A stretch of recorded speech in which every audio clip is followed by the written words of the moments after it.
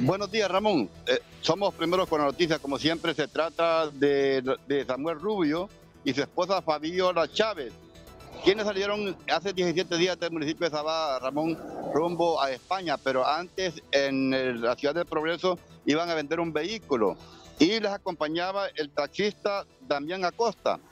Hasta la fecha, después de, 17, después de 17 días, no aparecen ni los esposos ni el taxista, ni tampoco los vehículos. Esto tiene preocupados familiares y ayer salieron a una caminata por el municipio de Sabá para pedir por la vida de ellos y a gritos los queremos vivos marcharon. Vamos a escuchar a los familiares de estas personas que piden justicia. Es eh, una caminata pacífica eh, pidiéndole primeramente a Dios, ¿va?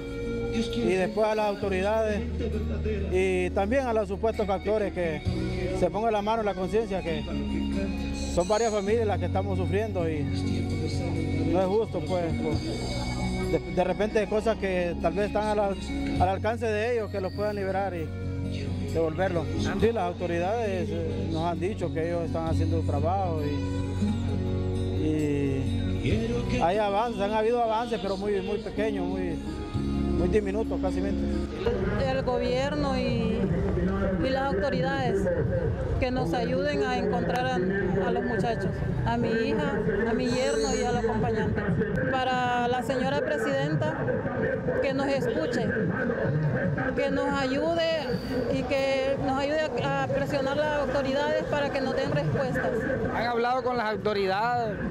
Bueno, la verdad es que yo he andado tocando puertas en todo San Pedro, Progreso y lo único que dicen que ellos están haciendo su trabajo y que, que cualquier cosa nos van a avisar. Los familiares han dicho que van a continuar con estas medidas de presión, marchas por las calles de, los municipios e inclusive la mamá de uno de los desaparecidos ha dicho que ha viajado a Tegucigalpa, San Pedro Sula, buscando información y piden si es que están eh, eh, eh, presos o están capturados o están secuestrados lo que es que eh, respeten su vida y que los quieren vivos. Y lo más lamentable, Ramón, es que el niño de, del taxista que salió acá a Tocoa, pues eh, llora porque su padre antes lo iba a dejar a la escuela y ahora ya, pues desafortunadamente por este momento no está yéndolo a llevar al centro educativo. Es lo que tengo en Tocoa de Colón. Vuelvo con nuestro estudio de TN5 Matutino. Somos primeros con la noticia.